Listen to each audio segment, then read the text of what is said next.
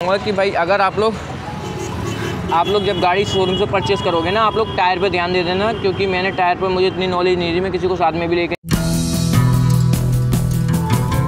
Hey guys सारे लोगों को दिल से वेलकम हो गया सेवन ब्लॉग्स में। तो गाइस उम्मीद करता हूँ कि आप लोग बहुत अच्छे हो गए तो गाइस आज मैं एक ऐसा ब्लॉग लेके आया हूँ जिसमें मैं आप लोग को ये बताने वाला हूँ कि बहुत से लोग भाई लोग के कमेंट आ रहा है कि भाई गाड़ी किस तरीके से लूँ, कौन से प्लेट के नंबर के, कौन से नंबर प्लेट की गाड़ी लूँ, कौन सी वाली प्लेट लूँ, और गाड़ी के बारे में भाई बताओ क्या है मतलब। तो मैंने सोचा कि एक वीडियो बनाता हूँ और आप लोग को बताता हूँ कि गाड़ी किस तरीके से आपको कौन सी गाड़ी लेना फैमिली के लिए कौन सी गाड़ी लेना और भाई अलग चलाने के लिए कौन सी गाड़ी लेना तो ये वीडियो उसी से जैसे कि आप लोग अगर जो भी लोग नई गाड़ी लेने जा रहे हैं तो ये वीडियो खास करके उन लोगों के लिए और है, क्योंकि आराम से आप लोग देख सकते हो इस वीडियो को। जो आपके डाउट्स हैं, इस वीडियो से क्लियर हो जाएँगे कि क्या दिक्कत है और किस हिसाब से गाड़ी लेना है तो उस हिसाब से आप लोग गाड़ी देख लेना।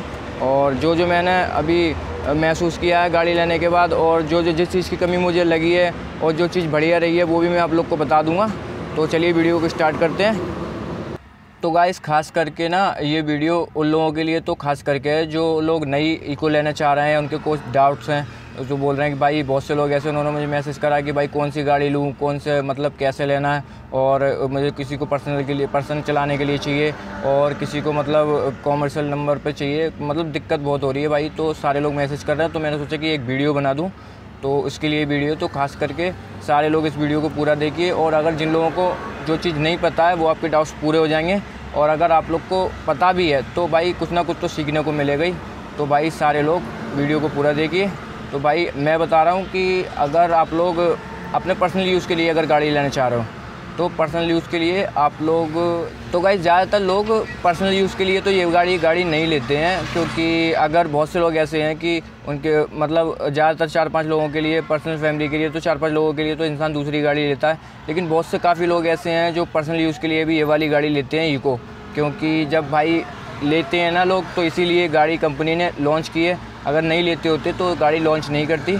तो इसलिए मैं बताऊँ कि भाई, जैसे कि आप लोग ऑफ़िस है आपका या कोई, या अपने फैमिली के अंदर छः सात आठ लोगों के लिए आपको गाड़ी चाहिए तो भाई उस हिसाब से, जैसे कि बजट आपका इस हिसाब से नहीं है कि अर्टिगा अर्टिगा भी ऐसी गाड़ी है सेवन सीटर है और इनोवा वगैरह ऐसी गाड़ी है ना तो भाई किसी का बजट नहीं होता है तो भाई वो लोग इको लेते हैं और इको से अपना काम चल रहा है, उनका चलता है, जब तक चलता है, फिर उसके बाद देखते हैं क्या करते हैं और तब तक के लिए वो इको ही लेते हैं। तो भाई अगर आप लोग पर्सनल यूज़ के लिए, अपने ऑफ़िस के लिए अपना मतलब अपना काम निकालने के लिए इको चाहिए आपको भाई, आप लोग प्राइवेट नंबर ले सकते हो, कोई दिक्कत नहीं है। और प्राइवेट नंबर रहता है वाइड वाली प्लेट जो होती है ना, वो वाइड वाली प्लेट वाइड नंबर रहती है। तो गाइस अगर आप लोग कॉमर्शियल नंबर कॉमर्शियल चलाना चाहते हो मतलब कॉमर्शियल नंबर लेना पड़ेगा आप लोग को उसमें तो वो कॉमर्शियल नंबर ये तो आप पीली प्लेट रहती है, लेकिन उसमें आप लोग टैक्सी में लगा सकते हो। और टैक्सी के साथ साथ आप लोग स्कूल वगैरह में, भाड़े वगैरह पे ट्रेवल्स वगैरह पे चला सकते हो, कोई दिक्कत नहीं है। तो गाइस मेरी राय यही रहेगी कि अगर आप लोग प्राइवेट चल मतलब पर्सनल चलाने के लिए गाड़ी अगर लेना चाह रहे हो तो आप लोग प्राइवेट नंबर से ले सकते हो, कोई दिक्कत नहीं है। और अगर आप लोग कॉमर्शियल या ट्रेवल्स वगैरह पे या भाड़े वगैरह पे चलाना चाह रहे हो तो भाई मेरी राय ये है कि आप लोग पीले नंबर की प्लेट लें और कॉमर्शियल नंबर लें तो आप लोग को उसमें एक फ़ायदा रहेगा। क्योंकि अगर प्राइवेट नंबर से गाड़ी बाहर चली पकड़ी जाती है ना तो जैसे कोई चालन वाला मतलब चेक इन वैक इन हो जाती है तो प्राइवेट नंबर से तो भाई इलीगल तो है ही, क्योंकि प्राइवेट नंबर तो पर्सनल यूज़ के लिए रहता है। तो आप लोग उससे भाड़े वगैरह करोगे तो आप लोग की गाड़ी पकड़ सकती है, चालन भी अच्छा होता है और दिक्कत हो जाती है बहुत। तो भाई, मैं राय यही दूँगा कि अगर आप लोग भाड़े वगैरह पे या आप लोग को ट्रेवल्स वगैरह पे स्कूल वगैरह में गाड़ी चाहिए चलाने के लिए तो भाई आप लोग येलो नंबर की प्लेट लें और कॉमर्शियल नंबर लें। उसमें एक ये चीज़ रहती है कि भाई, तीन महीने का टैक्स रहता है आपका तो आप लोग तीन महीने के अंदर उसको भरना है। आप लोग को चार, साढ़े चार हज़ार के समथिंग टैक्स आता है, वो आप लोग को भरना है। लेकिन मामला ये तो है कि भाई अगर चेक इन के दौरान पकड़ जाएगी या भाड़े वाड़ा है इसके अंदर तो भाई पकड़ेगी नहीं। कॉमर्शियल नंबर बहुत कमी के हिसाब से पकड़ा जाता है या चेक इन वगैरह होती है, क्योंकि सबको पता है, क्योंकि कॉमर्शियल नंबर रहता है गवर्नमेंट टैक्स जा रहा है उसका, और रजिस्ट्रेशन नंबर मतलब जो रहता है परमिट उसका ऑल इंडिया परमिट रहता है, कहीं भी जा सकती है, कहीं भी आ सकती है। टैक्सी का फ़ायदा ही यही है टैक्सी नंबर से। तो इसलिए, क्योंकि भाई पड़ता तो वहीं आ जाएगा, उससे ज़्यादा एक्स्ट्रा आपके चालन में कट जाएँगे। तो मैं आप लोग को राय दूँगा कि आप लोग वही नंबर लें प्राइवेट कॉमर्शियल नंबर जो पीली प्लेट रहती है। तो वैसे एक चीज़ और बता दूँ मैं आप लोग को कि भाई, अगर आप लोग शोरूम से गाड़ी लोगे ना, अगर प्राइवेट नंबर से लोगे तो आप लोग को दूसरी गाड़ी मिलेगी। और अगर आप लोग कॉमर्शियल नंबर से लोगे, पीली प्लेट से लोगे तो आप लोग को दूसरी गाड़ी मिलेगी। ऐसा क्यों है? क्योंकि भाई प्राइवेट नंबर की गाड़ी अलग होती है और डीलर से आप लोग बात कर सकते हो, कोई दिक्कत नहीं है। जो मैं बता रहा हूँ, वही बतागा वो भी। कि प्राइवेट नंबर की गाड़ी अलग होती है और भाई कॉमर्शियल नंबर की गाड़ी अलग रहती है। प्राइवेट नंबर में लगभग मेरी नंबर प्राइवेट नंबर की गाड़ी है। तो मेरी 160 की स्पीड दी है 180 की स्पीड तो भाई चलाता मैं लिमिट के हिसाब से ही हूँ, क्योंकि भाई अगर आप लोग 80 या 90 से एक्स्ट्रा भगाओगे ना गाड़ी तो उसमें क्या रहेगा कि भाई आपका गाड़ी का एवरेज भी नहीं निकलेगा, जो पड़ता वगैरह सब खत्म हो जाएगा। तो इसलिए मैं चलाता नहीं हूँ, क्योंकि दुर्घटना का भी कारण होता है। ज़्यादा स्पीड से भगाना ओवर स्पीडिंग के चालन भी रहते हैं भाई। नियम के नियम के खिलाफ है भाई।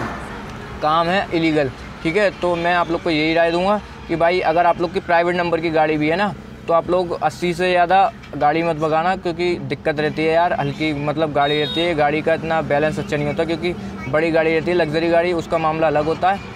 ये तो अपना फैमिली के हिसाब से लिमिट से ही चलना एवरेज भी देगी अच्छी बात है। अगर आप लोग प्राइवेट नंबर की गाड़ी लेते हो, वो कॉमर्शियल नंबर की गाड़ी लेते हो तो आप लोग को पीले प्लेट में गाड़ी में आपको गाड़ी दूसरी मिलेगी इको टूर के नाम से रहती है। उसकी स्पीड आपको डीलर बताएँगे कि 80 की स्पीड उसमें रहती है लगभग। तो आप लोग 80 की स्पीड वाली उसमें मिलेगी आपको। तो उसमें आपका ये है कि आप लोग एक्स्ट्रा नहीं भगा सकते 80 से ज़्यादा नहीं भगा सकते।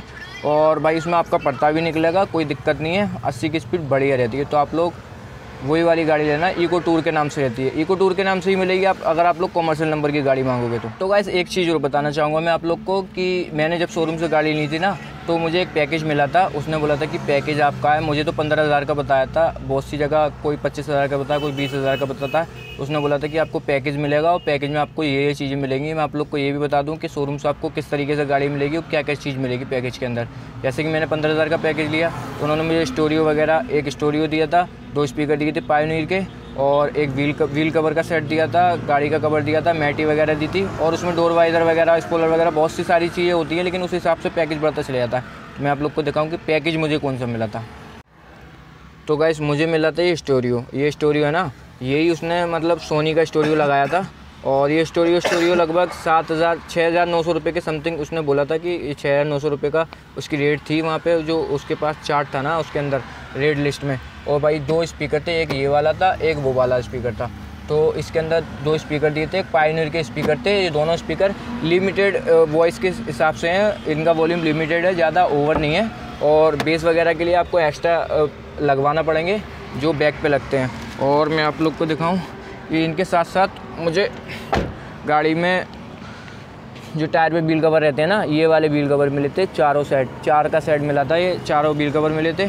और जो स्पोलर है ना, ये वाला स्पोलर ये स्पोलर भी मिलता है, लेकिन पैकेज के साथ मुझे मिला था, लेकिन वो बोल रहा था कि पंद्रह दिन बाद लगवा लेना, इसका पेमेंट आप आप जमा रहने दो। तो मैंने सोचा कि भाई, मुझे नहीं चाहिए, मुझे एक काम करो, आप लोग इसके पैसे दे दो और मैं इसको बाज़ार से लगवा लूँ। तो मैंने भाई, बाज़ार से लगवा लिया था, मैंने आप लोग को दिखाया था कि मैंने बाज़ार से लगवाया था और मैंने स्टेयरिंग कवर वगैरह भी बाज़ार से ही करवाया था, क्योंकि स्टेयरिंग कवर वगैरह भी वहाँ से नहीं मिला था। और कुछ लोग पैकेज में इसका स्पॉलर वगैरह भी देते हैं। इसका स्पॉलर भी होता है, लेकिन मैंने स्पॉलर नहीं लिया था। और फुट पैर वगैरह ये रहते हैं, यहाँ लगाने के लिए, चढ़ने के लिए तो वो भी नहीं लिया था उसने। बस मुझे स्टोरियो और स्पीकर्स और व्हील कवर और बॉडी कवर मिला था। बॉडी कवर आप लोग देख सकते हो। मारुति का बॉडी कवर मुझे मिला था। तो बस इतना ही कुछ मिला था मुझे। और मैटी मिली थी यहाँ मैं सॉरी मैंने मैटी आप लोग को बताई थी कि मैटी है। तो मैं आप लोग को दिखाऊँ कि ये है मैटी। गाड़ी थोड़ी गंदी है क्योंकि अभी भाड़े पैसे लौट के आई है ये मैटी मिली थी मुझे। ये थोड़ी प्लास्टिक में रहती है। सॉफ्ट वाली प्लास्टिक है। बहुत से लोगों को ब्लैक कलर की मिलती है, लेकिन मुझे ये वाला कलर पसंद आया था। मैंने ये वाला कलर ले लिया था। और एक चीज़ और बताऊँ, ये होता है कम्बल गाड़ी का। इसके नीचे कम्बल रहता है, ये देखो। तो भाई, इसको आप लोग खास करके पानी से बचाना। मेरे समझ से भाई, मैं भी जो करवाने जाऊँगा, वो भी आप लोग को दिखाऊँगा। इस पर मैं एक्स्ट्रा वाली मैटी भिजवा दूँगा, जो इसमें फ़िक्स हो जाती है। वो फिर पानी उसमें कितना भी जाए तो ये कंबल गलता नहीं है। तो मैं वो वाली मेटी लगवाऊँगा इसके अंदर, जिससे कोई दिक्कत नहीं होगी पानी वगैरह की। तो भाई, मैं भी आप लोग को सलाह दूँगा कि आप लोग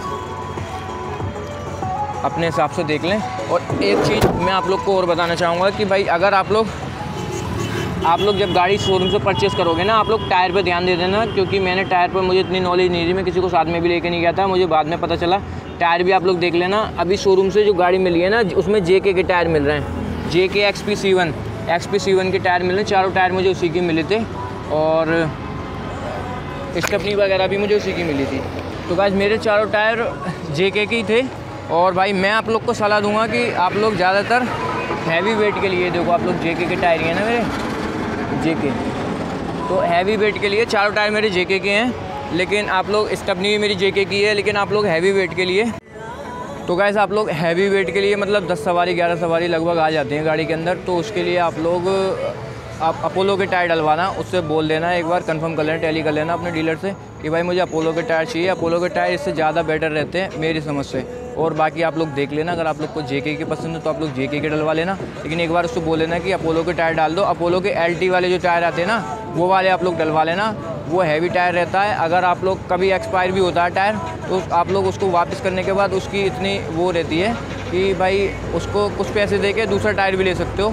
लेकिन इसकी इतनी रेट नहीं रहती है बाद में, क्योंकि बेकार हो जाता है। ये भाई चार सौ, पाँच सौ रुपये का अगर बेकार टायर भी आप लोग उसको दोगे तो चार सौ, पाँच सौ रुपये में वापस लेगा।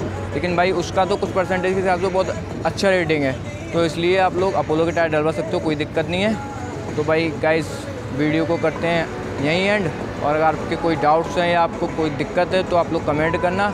अगर कोई आप लोग को पूछना है तो आप लोग कमेंट कर सकते हो। जितनी नॉलेज मुझे मिल रही है गाड़ी चलाने में, जो एक्सपीरियंस मेरा हो रहा है, वो आप लोग को मैं बताऊँगा। तो मिलते हैं अगले अगले ब्लॉग में। भाई, सारे लोग जब तक के लिए इस वीडियो को करो लाइक और भाई, प्यार देते रहिए, इस तरीके से प्यार दे रहे हो। भाई, जो लोग चैनल पर नए हैं, वो सारे लोग सब्सक्राइब ज़रूर कर लेना। भाई सब्सक्राइब भी बढ़ जाएँगे तुम्हारे भाई के। और सपोर्ट करते रहो शेयर करते रहो। अगर कोई दिक्कत हो तो कमेंट कर सकते हो कोई दिक्कत नहीं